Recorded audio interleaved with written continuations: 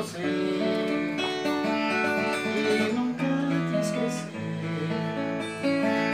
Ele sabe de tudo que você está passando e mandou lhe dizer.